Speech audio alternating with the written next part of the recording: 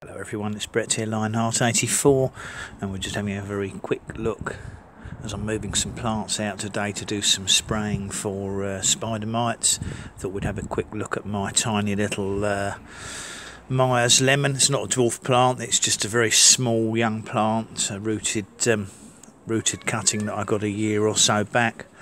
Um, but it's it's lost most of its leaves in the kitchen over winter, which is nothing unusual in the dry atmosphere, and it has had some spider mites on it, which I've uh, dealt with. But um, it has flowered sporadically through the winter, despite or despite its small size, and as you can see, it's got another another flush of flowers coming out now you could take these flowers off, but to be honest, it doesn't really matter because it's not going to set.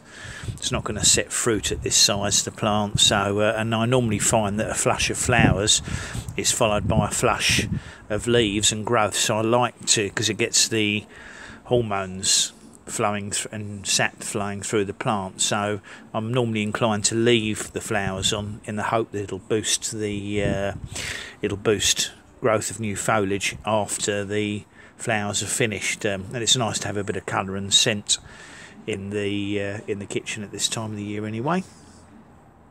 So I just thought I'd uh, take the opportunity to do a quick update video on that. That's a, uh, very small Meyers lemon that I've got.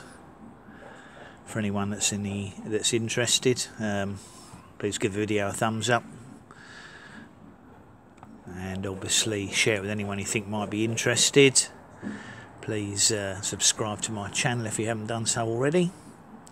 And obviously click the bell if you'd like to be updated as new videos come out which will include of course updates on the progress of my citrus including this Meyers lemon. I'll catch up with you all soon. Brett out for now